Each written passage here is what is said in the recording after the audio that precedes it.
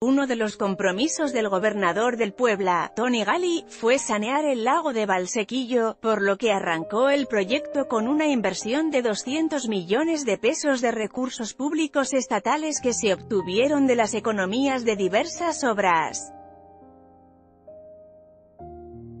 Anteriormente, dio a conocer que para sanear el lago implementarán tecnología de punta para la depuración del agua, mediante la inyección de oxígeno y ozono para eliminar bacterias presentes, lo que permitirá que la presa recupere su condición ambiental.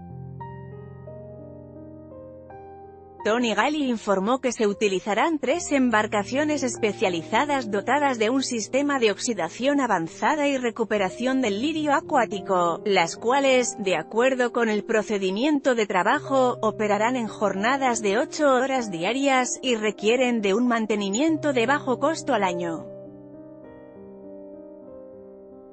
Dijo que estas acciones generarán las condiciones para el desarrollo de proyectos turísticos sustentables y respetuosos del medio ambiente, que representarán una oportunidad de ingreso para cientos de familias que habitan en las cercanías.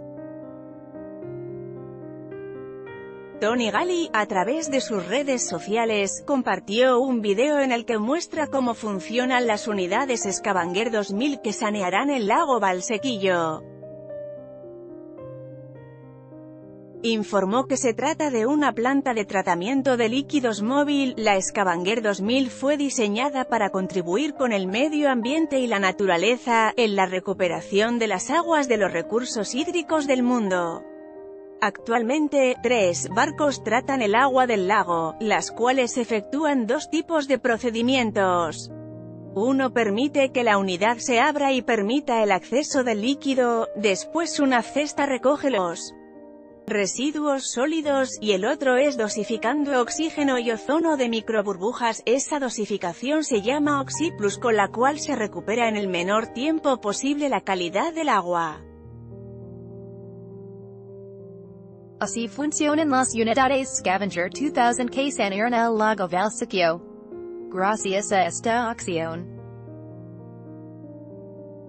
bit.twitter.com barra gpg6k2 y Tony Gali, arroba Tony Gali, December 11, 2018 Adicionalmente, Tony Gali subrayó que con este importante proyecto el agua de la presa de Valsequillo tendrá una mejor calidad para el uso de riego de 22.000 hectáreas donde los campesinos cultivan sus productos, lo que incrementará la calidad del campo poblano en la región con información de puebla.gov y Twitter anímate a comentar. Queremos saber tu opinión. Comentarios Powered by Facebook Comments.